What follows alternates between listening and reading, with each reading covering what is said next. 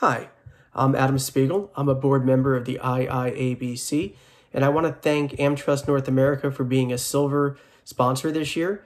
AmTrust appreciates the longstanding support of the IIABC Association and its members. 2020 has been a tough year on all of us, but we are nearing the end. We at AmTrust wish you all the health and success in 2021, and we look forward to the time in which we can meet face to face in the future. Thank you.